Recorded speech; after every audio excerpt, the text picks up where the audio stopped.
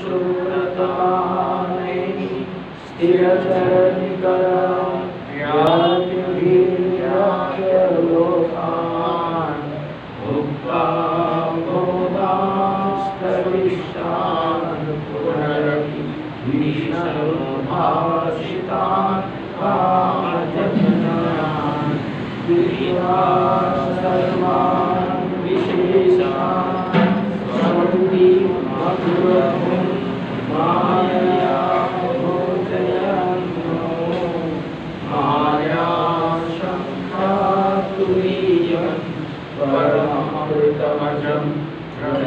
Yeah.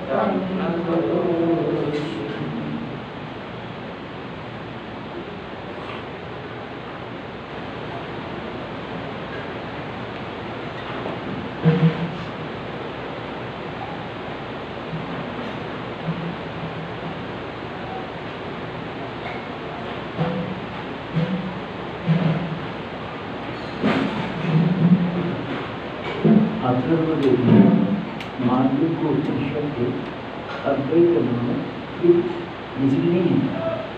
अद्वैत नाम तृतीय प्रकरण के ऊपर विचार करते हुए ग्रंथकार यहाँ पे प्रतिज्ञा है कि भेद दृष्टि की कृपणता है और अभेद दृष्टि एकत्र दृष्टि अकृपणता है।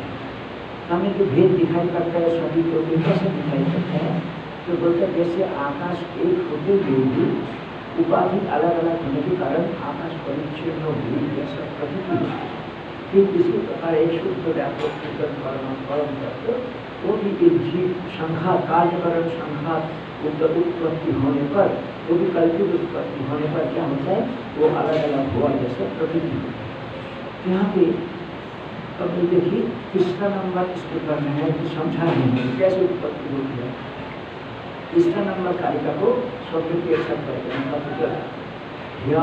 मतलब या आत्मा जीवे घटाकाशैर्विबोधितः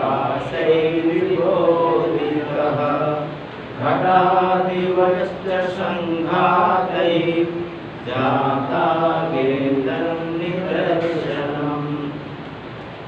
आत्मा आकाश की तरह है परंतु जैसे घट आकाश घट नामक एक संघात उत्पत्ति होने पर घट आकाश में अलग जैसा प्रतीति होती है, जैसे परिच्छेद हो गया जैसा ठीक इसी प्रकार आत्मा वास्तविक असंख्य पूर्ण व्यापक है। परंतु फिर कार्यकारण संघात की कल्पित उत्पत्ति से, उस कार्यकारण संघात से वो अलग अलग अलग अलग आत्मा हो गया जैसा प्रतीति हो। गया इस विषय में मतलब जन्म के विषय में, जीवात्मा की उत्पत्ति के विषय में, यही हमारे लिए दृष्टांत है। ये हमारे लिए दृष्टांत है।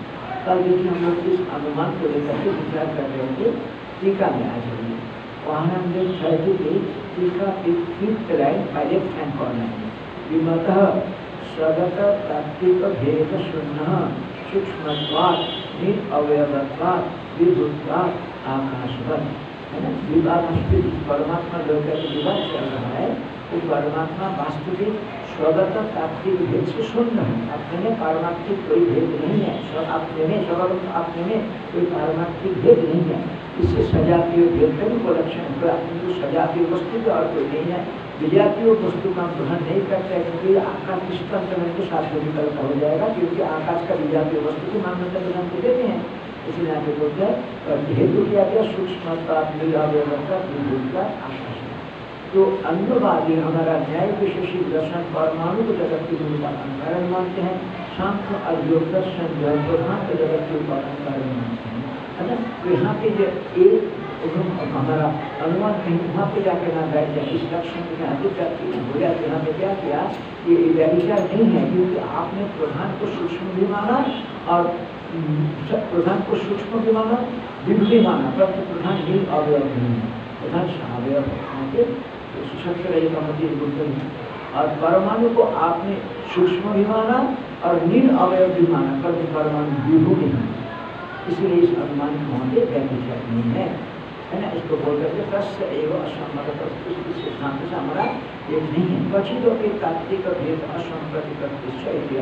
किसी भी स्थान में हमारी दृष्टि में कोई तात्विक भेद नहीं है ना? दुष्टवादी के पर अद्भुत भेद अभाव आप अन्य भेदवादियों के सिद्धांत के अनुसार जो तात्विक भेद की मान्यता देता है, वेदांत देता इस तात्विक भेद के अभाव ही हमारे साथ है। ये आप यहाँ पे सिद्ध करना चाहते हैं इसको सिद्ध करना चाहते हैं। इसलिए हमारे यहाँ पे साध्य तो अप्रसिद्ध भी नहीं है। साध्य तो अप्रसिद्ध भी नहीं, मैं कल समझा रहा यहाँ पे। यहाँ पे घरा नहीं दिखाई दे रहा है। ये बोलने से आपको कुछ समझ में आ रहा है कि नहीं आ रहा? घरा नामक कोई वस्तु को आप जानते हैं, इसी प्रकार से भेद क्या वस्तु हम समझते हैं। आप इसलिए उस भेद की अभाव हमारे साथ है, ये साध्य तो अप्रसिद्ध साध्य नहीं है, क्योंकि भेद प्रकृति को आप जानते हैं इसलिए वस्तु कहा गया और ये जो जीवा कार्य में परमात्मा एक जीव रूप में परमात्मा विवर्तित होते हैं ऐसा कहा गया है, एक परमात्मा सारा इस विषय में क्या कथन है? क्षेत्र एकदम चापी माम जिद्धि सर्व क्षेत्र शुभारंभ स्मृति विद्यार्थी सभी प्रकार यहाँ पे जो कहा गया, उदित, उक्त मतलब ऐसा कहा गया। और श्रुति जो आपको कहते हैं, वो तो झूठ हो सकता है। तो श्रुति जब कहते हैं कि इस प्रकार से उत्पत्ति हुई है तो उत्पत्ति पारमार्थिक हो जाएगी उदित शब्द से उत्तरार्थ कई परस्य आत्मा संघात रूपना उठता तो परमात्मा संघात को उत्पत्त हुआ तो परमात्मा में प्रपंच प्राप्त होता प्रसंचित यदि आशंका, ऐसा संकटन होता। अथवा नहीं, हमारे अभिप्राय ये नहीं है, अथवा करके बोलते हैं कि अथवा घटा काशे यथा आकाश उदित, घटा की उत्पत्ति होने पर जैसे घटाकाश की उत्पत्ति हुई, जैसा प्रतीति होती है ये हमें कर अथवा कहते तो ये हमें पारमार्थिक सिद्धांत है घटाकाशे जैसे घटाकाश घट घट घट रूपी संख्या उत्पन्न होने पर घटाकाश की प्रतीति होती है इससे जैसा आकाश उत्पन्न हुआ जैसा प्रतीति होती है तथा उसी प्रकार से पर जीव आत्मा भी एक परमात्मा जीवात्मा रूपी की उत्पन्न होने पर जीवात्मा परस्माद आत्मा उत्पत्ति जीव रूप में परमात्मा का उत्पत्ति सुनाई देता है वेदांत में सा महाकाशात घटाकाश उत्पत्ति समा महाकाश से घटाकाश की उत्पत्ति तुल्य है न परमात्मा के ये अभिप्राय पारमार्थिक नहीं है वह ही नहीं है देखो अब क्या अथवा के बाद अब ठीक है मैं आ ध्यान छोड़ आप लोगों ने बी पाठ पढ़ा विद्यार्थी के तृतीय पाठ में आकाश की उत्पत्ति होना संभव है कि नहीं है? तो न बी टुडे है ना? आकाश की उत्पत्ति नहीं हो सकता किसी को नहीं सुनाई दिया। जब अस्तित्व हम तो छुट्टी को लेकर के बोल रहे हैं, तभी हमें हम बोलते हैं कि नहीं नहीं, है। आप बताइए तो स्थिति को देखो। इस प्रकार से आकाश की जिसका उत्पत्ति होना संभव नहीं, उसका उत्पत्ति दिख रहा है? फिर प्राण आदि अस्मान चाहे तो प्राण से प्राण से भी उत्पत्ति सुनाई देता है तो सबकी उत्पत्ति सुनाई देता है तब आत्मा की उत्पत्ति होगी ब्रह्म की उत्पत्ति होगी ऐसे शंका उठाने कर बोलते हैं तब ये सूत्र है कहीं न आत्मा अस्तुते न्याय विरुद्ध से क्योंकि यदि हम ऐसा मान लेंगे तब क्या जाएगा ब्रह्म सूत्र में गुरु का सूत्र है न आत्मा आत्मा अस्तुते तत्वाक्षताभ्य न आत्मा अस्तुते आत्मा की उत्पत्ति नहीं होती, क्यों? स्तुति में आत्मा की उत्पत्ति के बारे में कथन नहीं किया गया। पूरे भूत, भौतिक वस्तु की उत्पत्ति के बारे में कथन किया गया है। आत्मा से विवर्तित होकर दिखाई देती, ये कथन किया गया। परंतु आत्मा की उत्पत्ति के बारे में कथन नहीं न जायते वीरते व कदाचित पुरुष इस तरह की बात के द्वारा कहते बोलते हैं ब्रह्म सूत्र की द्वितीय है तृतीय पाठ दशम अधिकरण के सत्रहवा सूत्र है।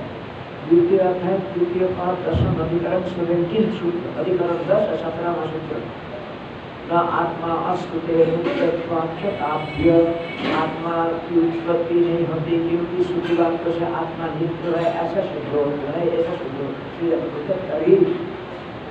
न आत्मा अस्वीकृति न्याय विरोध से यदि हम ऐसा मान लेंगे, तब आत्मा जो न्याय मतलब ब्रह्मसूत्र में युक्ति लगा वो सूत्र दिया गया उसके साथ विरोध हो जाएगा, ऐसा संकटक है?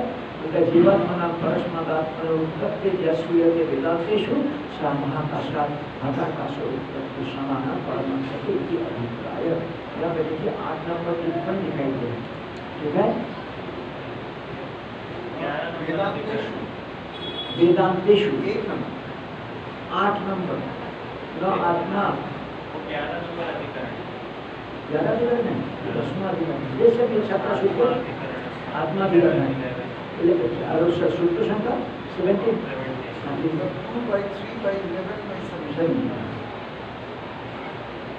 आत्मा अस्वत है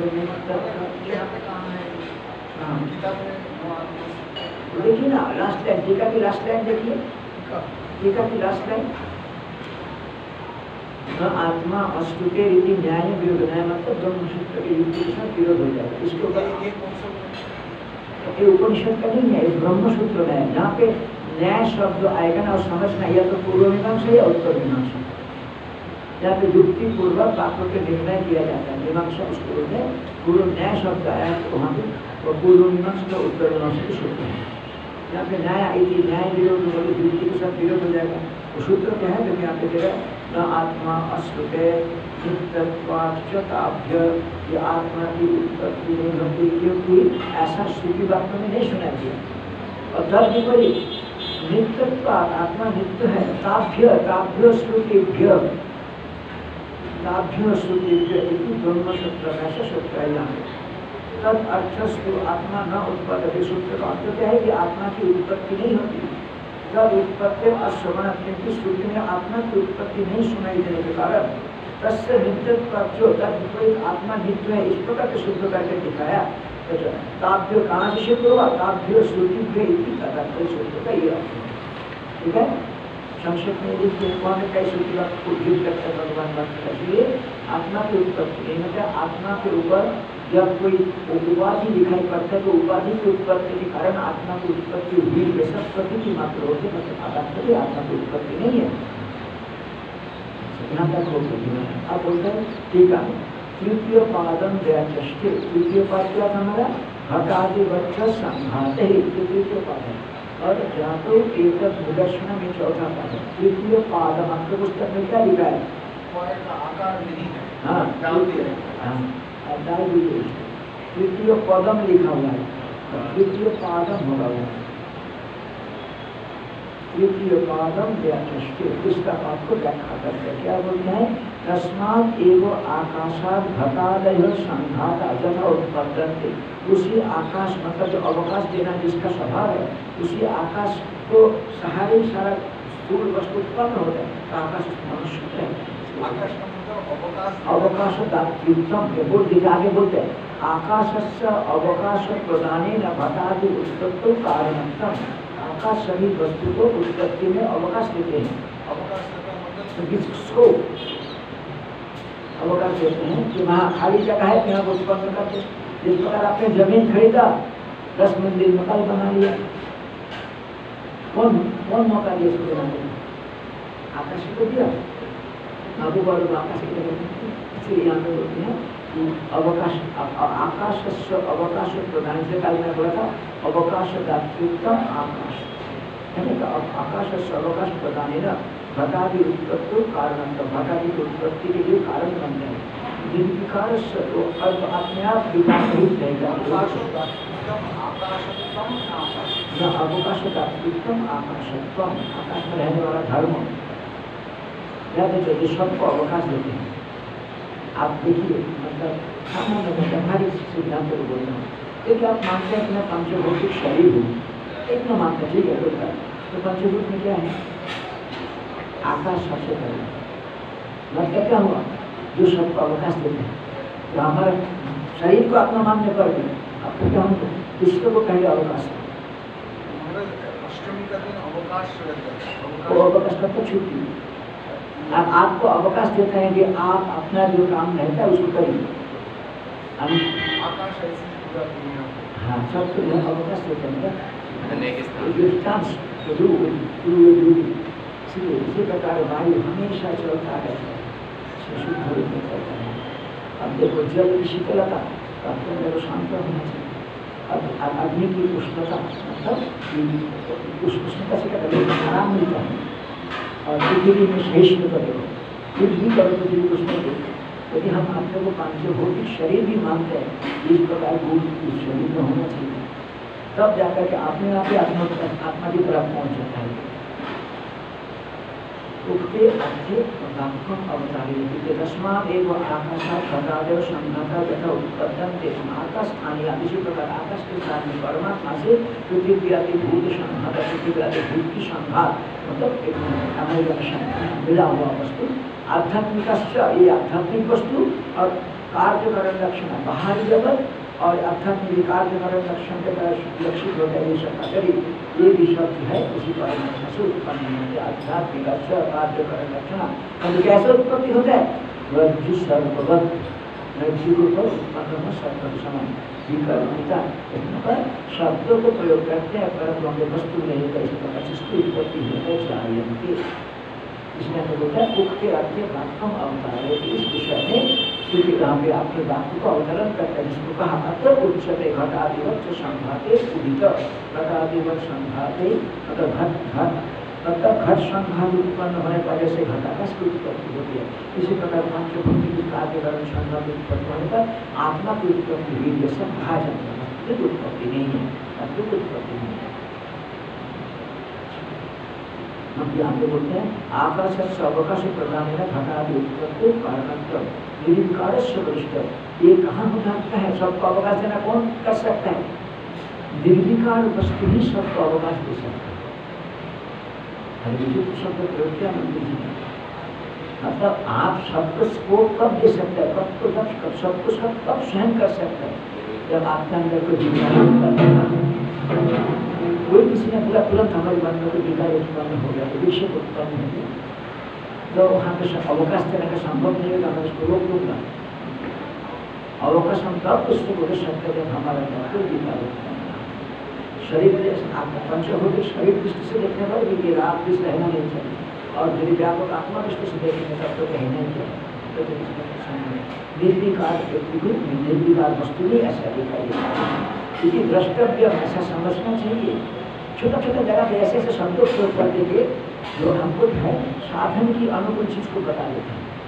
फिर बोला, जातो एक निदर्शन जातो इत्यादि अभिलाष पाठ में जो श्लोक की चौथा पाठ, उसमें पता कि सृष्टि के विषय में यही हमारी दृष्टांत है। सृष्टि कैसे हुई कि जैसे घट रूप संघात के उत्पन्न होने पर घटाकाश की उत्पत्ति हुई इसी प्रकार इस कार्य कारण संघात की उत्पत्ति हुई जैसे रज्जु में शब्द की उत्पत्ति के समान आत्मा की उत्पत्ति हुई जैसे इसलिए आप समझे ज़्यादा सत्या जिसमें जिस समय हम बुद्धि वाले व्यक्ति को समझाने के लिए प्रयास करते हैं उस के द्वारा आत्मा आत्मा में सृष्टि के बारे में कथन किया जाता है जीवा, किसकी? जीवादिना। जीवादिना सृष्टि विषय तदा उस समय जातो सृष्टि के विषय में मतलब जाति की मान्यता दे करके, एक होता ना, पुष्यति दुर्जन न्याय बोलते हैं आप जो कहते हो, आपके कथन को मान्यता दे करके मैं आपको समझाऊं एक होता है, अपनी सिद्धांत को समझें और बता दूसरे की बात को मान्यता देगा तो उसको सिद्धांत लेकर कभी कोई जो ठीक है जाति आप मानते उसमें भी ये कमी नहीं है इसलिए बोलते हैं कि जातो विपगम माना एक निदर्शन ये दृष्टांत है निदर्शन मतलब दृष्टांत यथा उदित आत्मा, जैसा कथन किया गया है, अतः प्रकृति होती है। इस प्रकार महाकाश से घटाकाश की उत्पत्ति की प्रकृति होती है। इसी प्रकार से परमात्मा से जीवात्मा की उत्पत्ति की प्रकृति होती है। क्या हो गया कि श्रुति में जो उत्पत्ति के बारे में कथन किया गया है, उसके साथ अजातवाद की कोई विरोध नहीं है। क्या कहना चाहते हैं इससे? आपको क्या दिखाना चाहते हैं? कि अद्वैत तो पारमार्थिक है, इसका दुर्ग से भी सकता है पक्ष में अपार्वत है। तो आपने बोला आपको क्या क्यों भेद नहीं है? सारा श्रुति में तो उत्पत्ति के बारे में कथन किया। श्रुति की उत्पत्ति के पीछे अभिप्राय यही है कि उत्पत्ति पारमार्थिक नहीं है। ये पूर्ण व्यापक तत्व संघात की उत्पत्ति से इसकी उत्पत्ति की प्रकृति मात्र होती है। तो इसीलिए श्रुति के साथ वेदांतिक सिद्धांत का कोई विरोध नहीं है। हर जगह पे देखना, जहाँ कहीं भी सृष्टि का प्रकरण आया हुआ है, आगे जाकर श्रुति अपने आप निषेध कर देती है। कि नहीं? जहाँ कहीं भी सृष्टि का प्रकरण आया हुआ है, आगे जाकर श्रुति सृष्टि को निषेध करके सृष्टि का सृष्टिकर्ता को समझाना चाहते हैं। इसलिए सृष्टि का अध्ययन होता है। जब जैसा सृष्टि में कोई हमारा विरोध नहीं है, इसी प्रकार प्रलय कथन से भी हमारा कोई विरोध नहीं है। प्रलय कथन कहाँ पे आया? अभी कुछ आया था ना यथा सुदीप तत्पावका विष्णुलिंग स्वरूप तथा अक्षरा विविध स्वर्ण भावा प्रजायते अपनी लय भी प्राप्त करते हैं। है ना? इस प्रकार क्योंकि इसमें क्या दिखाना चाहते हैं? कि जगत के अभिन्न निमित्त उपादान कारण जो अन्य जगह के उपादान कारण और निमित्त कारण अलग अलग होते हैं। घड़ा कभी भी कुंभार में लय नहीं प्राप्त करता। घड़ा मृत्यु का नहीं लय प्राप्त आ, कई बार भी ऐसा है कि ईश्वर को जगत को निमित्त का तटस्थ तटस्थ निमित्त कारण मानते हैं। परंतु उपादान कारण नहीं मानते। परंतु जब छुट्टी कहते हैं कि तत्व का पियंते नहीं वही तो लय प्राप्त करते हैं तो वही उपादान कारण भी है क्योंकि कार्य तो अपने उपादान कारण नहीं लय प्राप्त इसलिए वो अभिन्न निमित्त उपादान कारण जो आत्मा को ब्रह्म को माना गया ये कोई वेदांतिक कल्पित वस्तु नहीं है। इस स्थिति का प्रतिसार ऐसा निर्णय लिया है। इसलिए आगे देखिए बोलते हैं। कि टीका में अद्वैत जीव सृष्टि श्रुति विरोधम परभित्य अद्वैत के साथ जीव सृष्टि की जो श्रुति है, उसका जो विरोध दिखाई पड़ता है, आपातिक विरोध, उसको परिहार करके परिभिक्त मतलब उसको परिहार करके, निराकरण करके तस्व मतलब अद्वैत अद्वैत सिद्धांत जीव प्रलय जीव की प्रलय सुनाई देता है, उस श्रुति के साथ भी कोई विरोध नहीं है। इसलिए विरोध हम आशंक को विरोध उठा करके उसका निराकरण करते हैं मतलब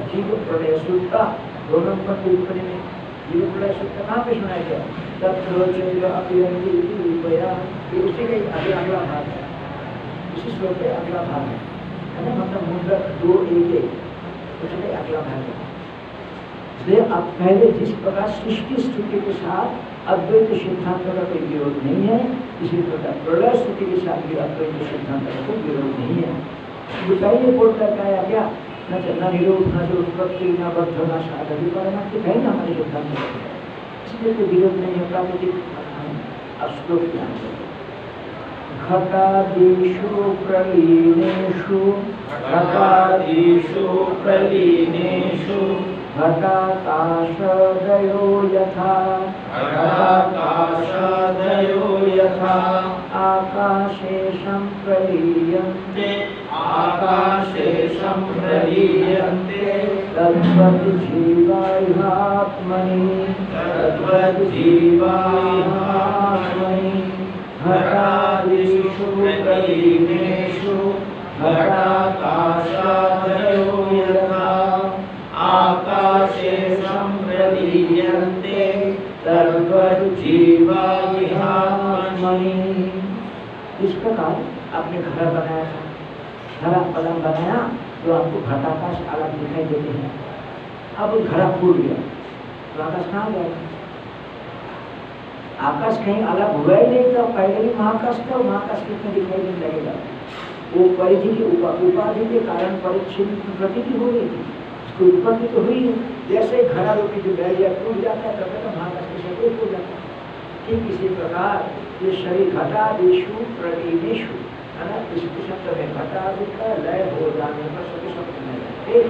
घटा का जो घटाकाश मत पटाकाश महाकाश उत्पन्न हुआ था ये सारा जैसे घटाकाश प्रथम वो वचन है जैसे आकाश संप्रलीयते उस महाकाश में लय प्राप्त कर जाते हैं। ठीक प्रकार का जीव प्रकार यहाँ पे जीव रूप में अलग प्रतीति होती है। तो जीवत्व को जब आप शिवत्व में आहुति दे देंगे तो कहाँ जाएगा आपका जीवन? बस शुद्ध आत्मा में लय हो। है ना जीवा जीवात्मा क्या हो जाएगा परमात्मा शुद्ध आत्मा में यह आत्मा दिव्य आत्मा में यह इस आत्मा में लय प्राप्त मतलब जीवत्व भाव?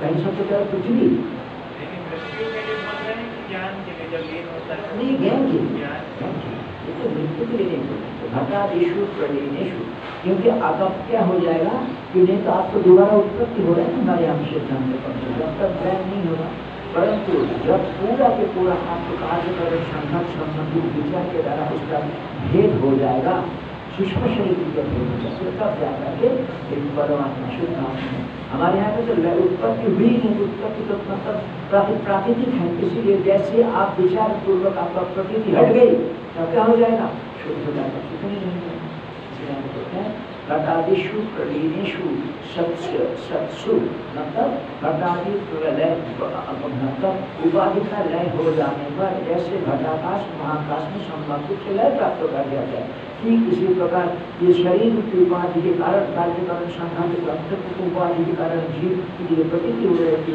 वो लय हो जाने के कारण वो क्या हो जाए, उस आत्मा में लय प्राप्त हो गए शुद्ध आत्मा नहीं रह जाती यदि भाष्य का लिखते हैं।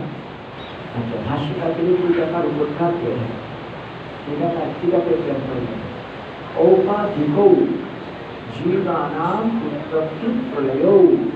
उत्पत्ति समाज होता है है ना? तो ये कैसा है? औपाधिक है। उपाधि के कारण उत्पत्ति और प्रलय दिखाई पड़ता है। न स्वाभाविक। उत्पत्ति और प्रलय स्वाभाविक है नहीं। ये औपाधिक उत्पत्ति की मात्र नहीं है। तथा च उत्पत्ति श्रद्धा, विरोध अभावगत ठीक इसी कारण से उत्पत्ति की प्रवृत्ति होती है। इसलिए उत्पत्ति श्रुति के साथ अद्वैत श्रुति के का कोई विरोध नहीं है। ये चीज़ को समझ नहीं पाते लोग। इधर बोलते हैं, ये लोग इधर उत्पत्ति की श्रुति बोलते हैं, इधर बोलते हैं कि अद्वैत परमात्मा है। ये उत्पत्ति प्राकृतिक है।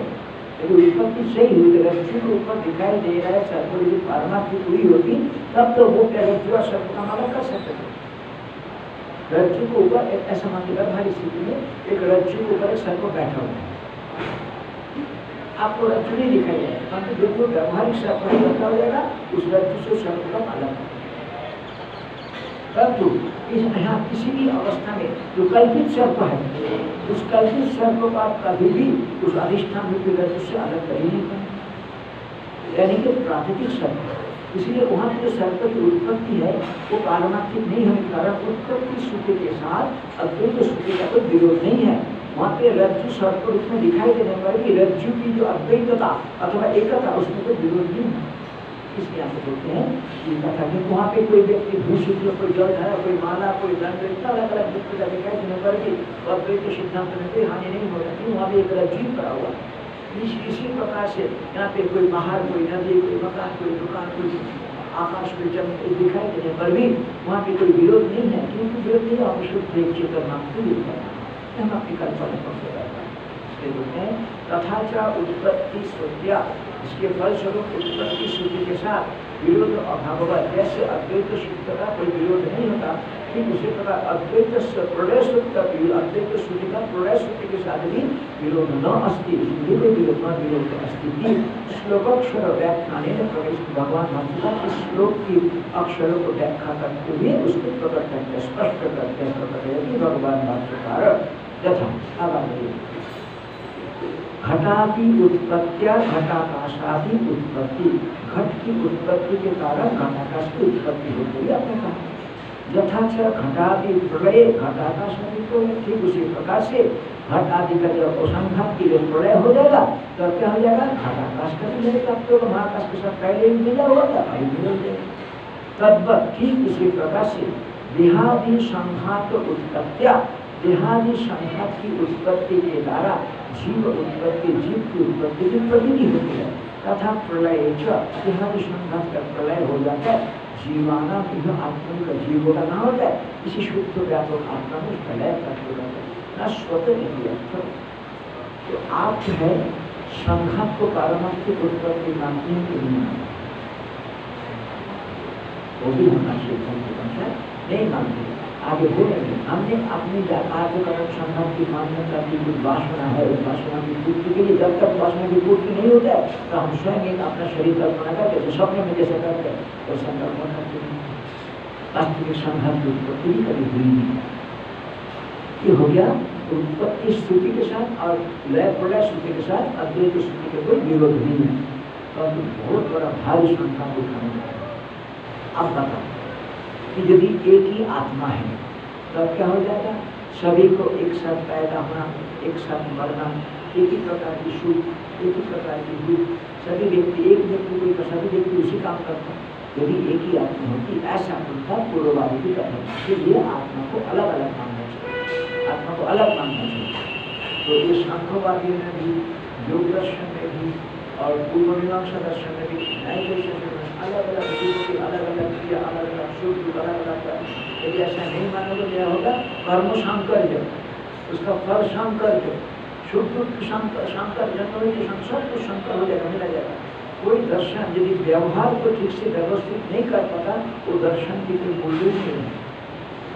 आप अपने सिद्धांतों को भी बना परंतु यदि उससे व्यवहार सिद्ध नहीं हो पा रहा है, तब वो दर्शन कोई नहीं होगा उसे कोई नहीं होगा है ना तो व्यवहार सिद्ध कैसे होगा? यदि भेद को नहीं मानोगे तो व्यवहार कैसे सिद्ध होगा? हमारे सामान्य उत्तर है व्यवहार तो प्राकृतिक है, इसीलिए उपाधि से व्यवहार सिद्ध हो जाता है पारमार्थिक व्यवहार नहीं, है ना? ये प्रत्येक दर्शन को व्यवहार के साथ पारमार्थिकता दोनों बनाना है। हमने सिद्धांत को ऐसा बनाया कि पारमार्थिकता तो बताया, पर व्यवहार उससे सिद्ध नहीं होना तब दर्शन काम होगा व्यवहार सिद्ध हो रहा है, पर पारमार्थिक सिद्ध नहीं है। तब वो दर्शन भी आपको मुक्ति को नहीं ले जा पाएगा? तो इन दोनों को बचाते हुए दोनों को रक्षा करते हुए कैसे हों सांख्य दर्शन में पुरुष को अनेक माना आपने तो कार्य कर पढ़ा जन्म, मरण करणाना प्रतिमा जन्म, मरण करणाना प्रतिमा अजुगत प्रवृत्तिश्च, पुरुष बहुतम सिद्धम विरोधाच ऐसा- ऐसा पुरुष के बारे में दो दो ही के बताया है और के। जन्म, मरण करणाना प्रतिमा प्रत्येक व्यक्ति का जीव का उसका जन्म, उसकी मृत्यु, उसका इंद्रियों की जाता सबका अलग अलग है। सबका अलग है। जन्म, मरण करणाना प्रतिमा प्रत्येक क्रिया अलग अलग है। और अजुगपत प्रवृत्ति यदि एक ही आत्मा होती तब एक व्यक्ति रिक्शा में जाए तो सभी उसी दिशा में तो ऐसा नहीं होता कोई है तो कोई बजा जाता है कोई खाना खाता है कैसे हो सकता है इससे पुरुष बहुतम सिद्धम इसको गुण व्यक्ति विरोधाच क्योंकि गुण के विकास से एक ही समय एक ही व्यक्ति में एक आत्मा में विरोधी दो तीन गुण काम करेंगे नहीं हो सकता परंतु किसी को लड़ाई करने की इच्छा हो है किसी को चलने की इच्छा हो है किसी को सोने की इच्छा हो है किसी को पढ़ने की इच्छा हो वहाँ पे कहा जाए एक में सत्य गुण बढ़ रहा एक में रजोगुण इसमें तम है ना? इस प्रकार से एक ही व्यक्ति ने एक ही समय में एक आत्मा होता तो तीन गुण कैसे काम करे? अलग अलग प्रकार की दोनों व्यक्ति विरोधाच पुरुष बहुतम सिद्धम पुरुष आने होता है है। अब ये बताइए सांख्य दर्शन स्वयं ही पुरुष असंग ही अयम पुरुष हो भी होता है। जैसे न्याय दर्शन में सुख दुख आत्मा के धर्म माना परंतु सांख्य दर्शन ऐसा नहीं माना सुख दुख बुद्धि धर्म बंधु मुक्ति बुद्धि के धर्म है। मतलब आत्मा में बंधन मुक्ति नहीं है सांख्य दर्शन भी है, वो प्रकृति में है। इसीलिए यहाँ पे एक उनको दिखाई देने पड़ेगा तो जन्म, मरण, कर्म, ये कहाँ पे होता है? प्रकृति में है। ना? प्रकृति प्रकृति के विकार में जन्म, मृत्यु, कर्म, व्यवहार नहीं माना, क्योंकि प्रकृति से महत्व महत्व सब तत्व कर्म के मानते हैं। तो फ़र्क क्या हो गया कि देखो, क्रिया कहाँ पे हो रहा है? कहाँ पे है? प्रकृति में। और उसके लिए भेद कहाँ पे मान लिया तुमने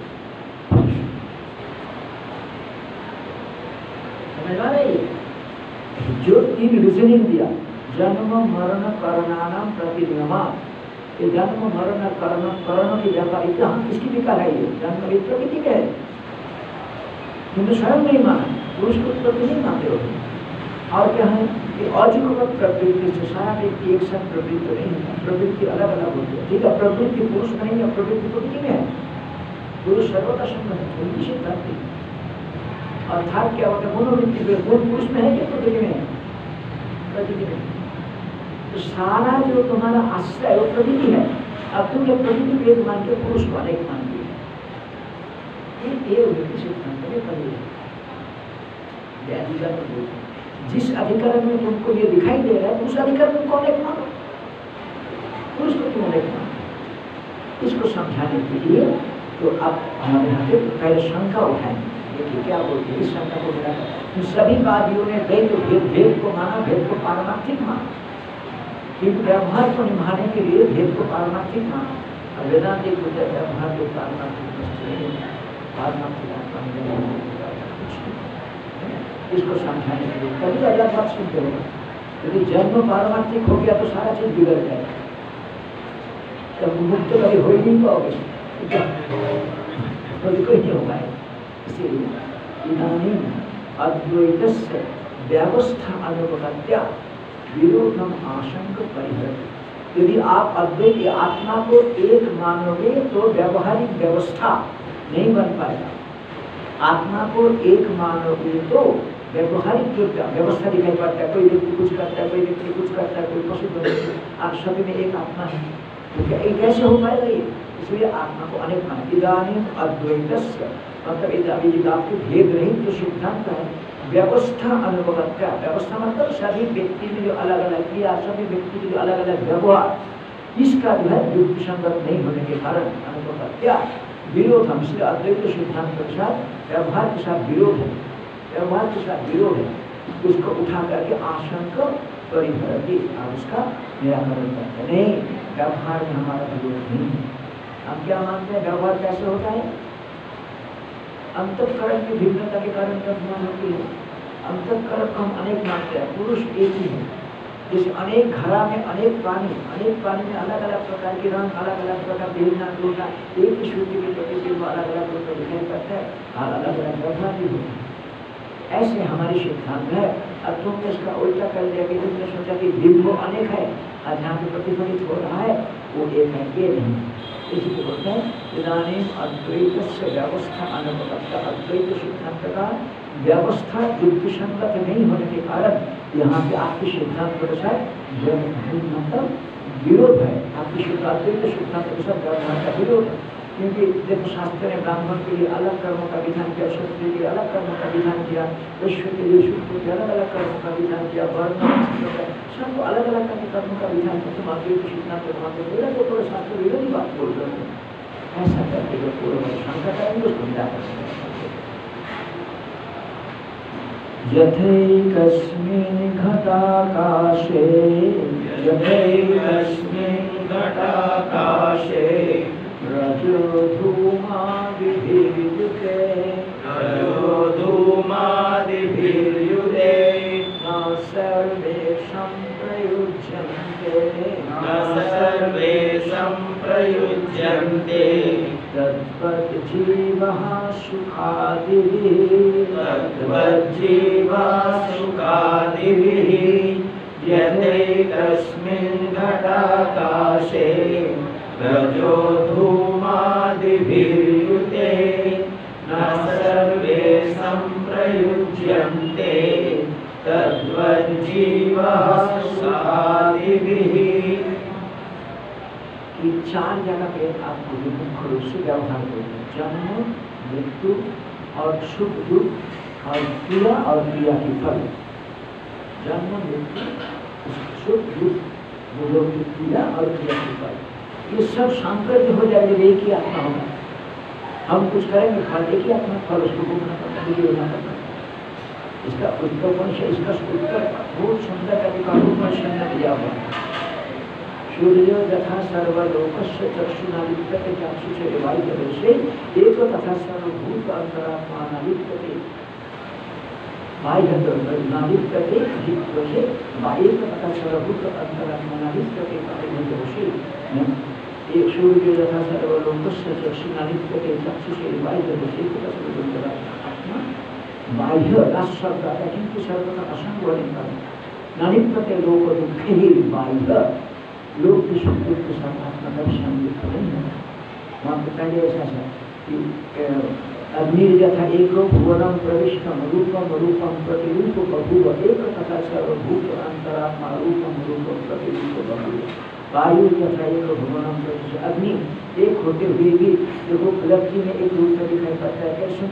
में एक रूप में पेट्रोल में एक रूप में फिर उसकी जगह कितने ईंधन होते हैं। सब अलग अलग अग्नि तो एक ही है, किंतु एक भुवन में प्रवेश करके अलग अलग रूप में दिखाई पड़ता है। इसी प्रकार वायु, इसी प्रकार आत्मा भी अलग अलग शरीर में प्रवेश करके अलग रूप में प्रतीति होती है पर उसका संबंध नहीं है। और उसको यहाँ पे बोलेंगे कि ये जो शंकर जो दिखेगा शंकर जो मिल जाना यदि एक ही आत्मा होगा तो जब एक सुखी होगा तो सभी सुखी होगा एक मुक्त होगा तो सभी मुक्त होगा एक दुखी होगा तो सभी दुखी होगा ऐसा हमारे तो हमारे बुद्धि में तब वेदन को करते करते घटता ही नहीं है ये कैसे होगा अगर जो अभी तक नहीं समझे वो तो आत्मा के सुख दुख तो आत्मा के धर्म है वो बोलते हैं एक सुख होगा सब सुखी होगा अब यही सिद्धांत से गड़बड़ हो जाता है कि आत्मा के धर्म नहीं है, आत्मा धर्म है। अब ये नहीं समझ पाने का ऐसे बोलते तुम्हारा व्यवहार सही नहीं होगा इसलिए बोलते हैं, अब देखो, हमारे पास अनेक घरा है। अनेक घरा में, एक घरा में आपने थोड़ा सा कमरे में मच्छर है। तो आपने क्या किया? एक घरे में थोड़ा सा जो है तो थोड़ा कोयला डाल करके थोड़ा धुआँ डाल दिया, धूप धूप डाल दिया, धुआँ हो गया वहाँ आप वो जो घरा कई घर आपके पास है घरा में थोड़ा सा काला बना दिया। तो उससे सारा सारा घरा काला हो जाएगा कि नहीं हो जाएगा? तो इसी प्रकार से मान लो एक घड़ा बाहर रखा हुआ था, थोड़ा गीला हो गया। अथवा थोड़ा मिट्टी है तो दूसरा अंदर रखा हुआ था। तो उससे सारा घर थोड़ी गिला हो जाएगा। तो इसलिए कहते हैं यथे कस्मिन घटाकाश। जैसे एकस्मिन घटाकाश, एक घटाकाश में, कोई एक घटाकाश मतलब घट के अंदर जो आकाश है, उस घड़ा के अंदर आकाश में यदि आपने धुआँ आदि कुछ जला दिया उससे थोड़ा सा आकाश में कुछ नहीं हुआ। हमको लगता है कि आकाश में घोड़ आदि हो रहा है, इस प्रकार कितना बारिश हो जाए, आकाश गीला होकर के गिर जाता है कि नहीं गिर जाता? आप कितना भी आग लग जाए, छह साल से जो ऑस्ट्रेलिया में कोई जंगल में आग लगी हुई है। आकाश जल गया कि नहीं होगा तो आकाश के अंदर सब होता है, परंतु उसके साथ संश्लेष नहीं। अच्छा और भी एक चीज़ और भी देखिए कि इस प्रकार बचपन से हम लोग देखा जाए क्या देखते आकाश नीला रंग की और आकाश का कहना यही यही हमारी बुद्धि में है। फिर बाद में शास्त्र आदि पढ़ के एक दर्शन को पता लगता है कि आकाश में ना कोई आका है, ना कोई रंग है तो प्रतिफलन कर इसमें, इस प्रकार से हमारी बुद्धि में पहले आकाश नीला रंग की और पटाकार थी। और बाद में आकाश में ना नीला रंग है, ना पटाकार ये हमारी बुद्धि में निश्चय करेगा आकाश को क्या फ़र्क आकाश को क्या फ़र्क ठीक इसी प्रकार हमारी बुद्धि ने हमारी बुद्धि ने इस अपने को बंधन में डाला और मुक्त भाई बाद में क्या पता लगा कि शास्त्र पत्र बंधन और मुक्ति दोनों ही होना कर इससे आत्मा को क्या फ़र्क पड़ा? आत्मा तो सर्व चाहिए, बंधन मुक्ति कुछ है नहीं ना सर्वते मुक्त अब देखिए यहाँ पे, यथा एकस्मिन घटाकाश है जैसे कोई एक घड़ा के आकाश में रजो धुआँ धीरे धूल भर गया अथवा धुआँ भर गया, इससे मिल जाने पर न सर्वे संप्रयोजन सारे घड़ा गंदा नहीं रहता, सारे घड़ा धुआँ से नहीं भर जाता। तद्वत जीव इसी एक जीव में सुख, दुख की अगर आपको धर्म दिखाई पड़ता है, सभी सुखी दुखी नहीं रहते सुख, दुख आत्मा के धर्म आत्मा के धर्म तद्वत सभी जीव सुख कभी कोई जीव सुखी रहेगा, कोई जीव दुखी रहेगा, कोई जीव जो है पीड़ा करेगा, कोई जीव बहुत परेशान होगा। इस प्रकार से ये सब अंतकरण के धर्म है आत्मा के धर्म नहीं तो इसी को समझाने के लिए आप यहाँ पे अन्य वाक्यों की सिद्धांतों को प्रदान कर दिखाने पड़ेगा यहाँ पे देखिए, कि टीका में देखिए, उक्त दृष्टांत वशा एकस्मिन् जीवे सुखादि संयुक्ते सति अपर जीवः तैर एव सुखादिभिः न संयुज्यन्ते औपाधिक इति आह। उक्त दृष्टांत का क्या दृष्टांत दिया? यथे घटाकाशे लगे धुआँ ये दृष्टांत दिया जिस प्रकार एक घड़ा के आकाश में आपने धुआँ चला दिया तो सारा घड़ा में धुआँ नहीं भर उसमें तो सारा में कालापन नहीं आता दृष्टांत वसात एकस्मिन जीवे सुखादि संयुक्त एक जीव के साथ, सुख एक के साथ, दुख एक के साथ विषन्नता और फिर कुछ हो, कुछ भी हो सकते अपरे जीव जीव होगा सुख, उसी सुख दुख के साथ। किसी के पास खाने का सुख है, किसी के पास सोने का सुख है, किसी के पास घूमने का सुख है, किसी के पास गाने का सुख है, सुख सबका है हो बाकी सब मुक्त नहीं होंगे इसके लिए जब तक अंतकर्म श्रेष्ठ होते अपरे जीवन एक बार सुखा। उसी सुख दुख के साथ संयुक्त नहीं होते न संयुक्त जंतु तो क्यों ये जो आपको जीव में भेद दिखाई पड़ता है, आकाश में भेद दिखाई पड़ते हैं, वो क्या होता है? औपाधिक है। उपाधि के कारण भेद दिखाई पड़ता है, इसलिए वो उपाधि में भिन्नता है, इसलिए उपाधि में कमी है, उपाधि में सुख दुख आएगा आत्मा में नहीं है इसलिए औपाधिक भेदादिति आहो। उसी प्रकार से तदवत जीवा सुखादि, उसी प्रकार से हाँ जीव भी सुख दुख के साथ इसी प्रकार संयोग होता है ऐसा समझना चाहिए। मतलब हमने अंतकरण के धर्म को अपने ऊपर आरोप करके मैं सुखी, दुखी हूँ बोलता हूँ। मैं प्राण के धर्म को अपने ऊपर आरोप करके मैं भूखा हूँ, मैं प्यासा हूँ, ऐसा बोलता हूँ। मैं शरीर की धर्म को अपने ऊपर आरोप करके मैं गोरा हूँ, मैं काला हूँ, मैं लंबा हूँ, मैं कोटा हूँ, मैं बुद्धि की और मैं बुद्धिमान हूँ, मैं निर्मूर्ख हूँ। सब उपाधि धर्म को आरोप करता हूँ। आत्मा की समझ को संपन्न नहीं है। इसको बोलते हैं कि हमारे यहाँ पे व्यवहार में कुछ सांकर्य नहीं आएगा। क्योंकि व्यवहार औपत है? अलग अलग उपाधि में अलग अलग क्रिया से अलग इसलिए हाँ, हाँ। अब देखिए यहाँ पे टीकाकार बोलते हैं श्लोक व्यावर्ताम आशंकाम दर्शयति। इस श्लोक के द्वारा जिस शंका को ग्रंथकार मतलब मांडू को कार्यकार निराकरण करना चाहते हैं। इस श्लोक के द्वारा मांडू को कार्यकार जिस शंका को निराकरण करना चाहते हैं, उस शंका को भगवान का सीधा पहले हैं। समझ श्लोक श्लोक के द्वारा निराकरण करने योग्य जो आशंका है, उसको दर्शयति भगवान भाष्यकार, भगवान भाष्कर उस शंका को दिखा रहे हैं। क्या दिखा देखो सर्वे देहेषु आत्म एकत्वे एकस्मिन् जनन, मरण सुखादिमति आत्मनि सर्वात्मना तत्संबंध क्रियाफल सांकर्यं च इति जे आहुर्दैविनः तान् प्रतीदम् उच्यते। ठीक है? उनके प्रति जो समझ समझदार के लिए नहीं सर्वे देहेशु आत्म सर्वदेशु आत्मा एकत्व सभी समस्त शरीर में यदि आत्मा एक होगा तो, तो क्या हो जाएगा? एकस्म एक आत्मा की जन्म लेगा सभी जन्म लेगा तब अलग अलग डेट ऑफ़ बर्थ रहेगा ही नहीं। डेट ऑफ़ बर्थ हैं, जितना ऑफ़ फ़र्स्ट फ़र्स्ट जनवरी। ईयर में भिन्नता है कि नहीं भिन्नता ठीक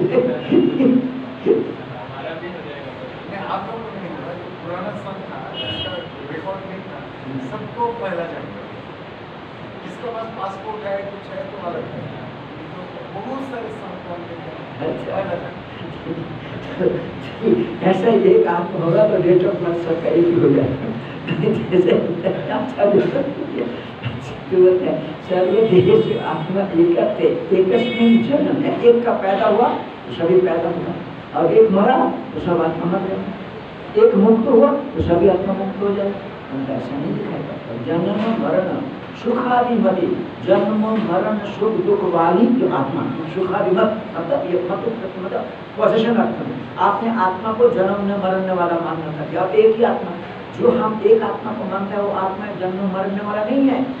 तो वो तो शरीर जन्म में मरने वाला है परंतु आत्मा में जन्म मृत्यु मानते हैं। बोलते बोलते जनन, मरण सुखादिमति आत्मनि, जन्म, मृत्यु, सुख, दुख वाला आत्मा में।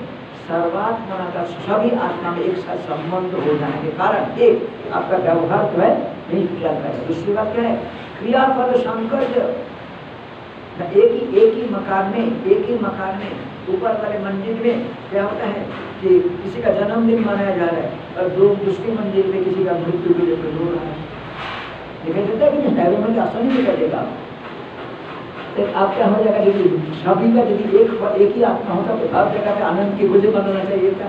ऐसे नहीं इसलिए है क्रिया फल क्रिया और उसकी फल फल शंकर जो मतलब हमने कुछ किया, आत्मा एक ही है तो उसको फल मिल जाए उसने कुछ किया, इसको फल मिल जाए हम ऐसा नहीं देगा इस प्रकार के एक आत्मा होने पर, इस प्रकार की जो विघटन होगा जिसकी मन में ये शंका है, उनको समझाने के लिए ग्रंथकार इस श्लोक को पहले सर्वदेहेषु आत्मा एकत्वे सति एकस्मिन जन्म, मरण, सुख, दुखादि मति आत्मा ने देखिए तो एक हो गया जन्म, मृत्यु कुछ हो गया सुख दुख दूसरा हो गया क्रिया और क्रिया के फल ये- छह जगह को लेकर व्यवहार होता है।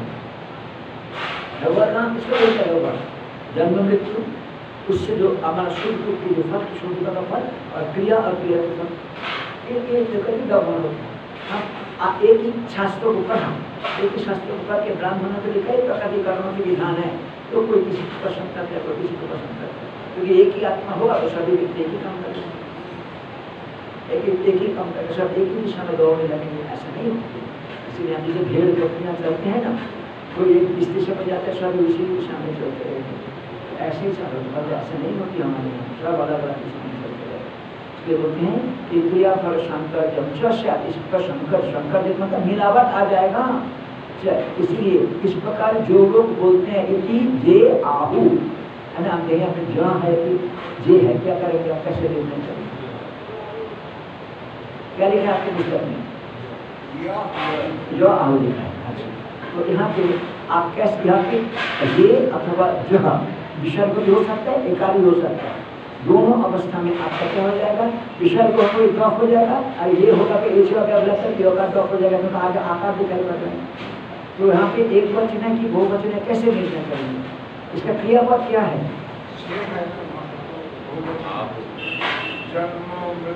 ना, जो लोग बोलते हैं, जिसको बोलते उसको नहीं, जो लोग बोलते हैं तो ये अब एक आहु है। आह, आहतु, आहु। बहुवचन है। हाँ। आह आह आह ब्रू धातु का रूप है एक्सेप्शनल है वो। आह को ब्रू धातु आह आदेश हो जाता है। आह आह, पाँच अफ्लिक्शन में आता है। आह आह तो आहु, आह आथ इस प्रकार। विभिन्न शब्द आह तो इस प्रकार पाँच रूप बनता है उसका। ये आहु किया पद है, ये बहुवचन है। तो इसलिए यहाँ पे ये आहु, जो लोग ऐसा बोलते हैं, जो लोग ऐसा बोलते हैं भागी मन जहाँ पे है वहाँ खराब कर कहीं कंफ्यूजन कर थोड़ा करके देखिए आगे पीछे क्रियापद करेंगे जो है, द्वैत का वो कौन है, जे दैती न, ये प्रथम वो वचन है। जो भेदवादी लोग जे दैती न, आहु। तान प्रति उन लोगों के प्रति इदम उच्चते इस श्लोक को कहा जाता है, कालिका द्वारा। इदम उच्चते अच्छा आप क्या बोलते हैं वहाँ पे? कि, टीका में देखिए। तद्वत श्लोक ऐकात्मे कर्तरि एकस्मिन् कर्तारः, सर्वे भोक्तरि च एकस्मिन् भोक्तार, सर्वे भवेयुः इति आह। एक तो क्या व्यवस्थांतर क्या हो गया? कि जन्म, मरण और क्या क्या क्रियाफल कर्म विफल तो ऐकात्म यदि आत्मा एक ही होगा, यदि आत्मा एक ही होगा कर्तरी एकस्मिन मतलब एक ही करता है। करता एक करता है जो काम क्या, सभी करता है वही काम करके सर्वे करता है। इसी प्रकार सर्वे भोक्तरी समस्त जितना भोक्ता है, जो एकस्मिन भोक्तार तो उसमें एक को जो भोगेगा सभी भी उसी प्रकार की भोगेगा सर्वे भव्य, सभी को उसी प्रकार भोगेगा ये ऐकात्मे कर्तरी, एकस्मिन कर्तार, सर्वे भोक्तरी, च एकस्मिन भोक्तार मतलब एक का एक को जो भोग हो रहा है, एक आत्मा को सभी लोगों से भोग होगा। एक कर्ता ने जो काम किया सभी करता उसी काम करना पड़ेगा। भगवान बोलते हैं पर अप्रवृत्त एक ही एक ही काम सभी व्यक्ति के साथ एक साथ नहीं किया जाता है ना? यानी इसीलिए पुरुष को भिन्न मान दिया यहाँ पे बोलते हैं, इसी प्रकार कर्तरी एकस्मिन कर्तार सर्वे भोक्तरी च सर्वे भवेयु। एक काम करेगा सभी एक कोई काम करेगा एक होना होता नहीं है में भिन्न एक मतलब ऐसा नहीं दिखाई देगा आप एक आत्मा मानोगे तो ऐसा मानना पड़ेगा आपको, ठीक है ना? सर्वे भवेयु इति पहला अव्यवस्था क्या लिखा है जन्म में अव्यवस्था। मरण में अव्यवस्था, सुख दुख में अव्यवस्था, अब क्या लिखा है? क्रिया में अव्यवस्था और भोग में भी अव्यवस्था। हमारा पैर में चोट है, ये बोलेगा, मेरे को दर्द हो रहा है। चोट कहाँ है? इससे लेके पैर में। यदि एक ही आत्मा है, आप बोले कि मेरे को दर्द दर्द हो रहा है ऐसा नहीं होता। भोगता भी ऐसे ही हो जाएगा तो इसकी अव्यवस्था हो जाएगा। ऐसा कोई कहते हैं तो उसके लिए बोलते हैं, क्रिया फल सांकर्यम भाषण में देखिए, क्रिया सेकेंड लैंग्वेज ये आहुर दैती जिस दैत्य वाले लोग ऐसा कहते हैं, तान प्रति उच्चते उनके प्रति इसको कहा जाता है। व्यवस्था अनुपत्य द्वैतम एवं इष्टव्यम इति वदंतम प्रति। व्यवस्था युक्ति संगत नहीं हो सकता एक आत्मवाद में। एक आत्मवाद में व्यवस्था युक्ति संगत नहीं हो सकता। इस प्रकार बोलने वाले द्वैतियों के प्रति व्यवस्था अनुपत्ता द्वैतम एवं इष्टव्यम इसे द्वैत को ही मानना चाहिए। इति वदंतम। इस प्रकार बोलने वाले के प्रति, वदंतम प्रति उत्तर तेना उत्तर के रूप में श्लोकम अवतार इस श्लोक को अवतारण देते हैं श्लोक को करते आइए नाम से? आज तीसरा वाला तीसरा वाला ज्ञानाभाषा प्रतिहतिरवमः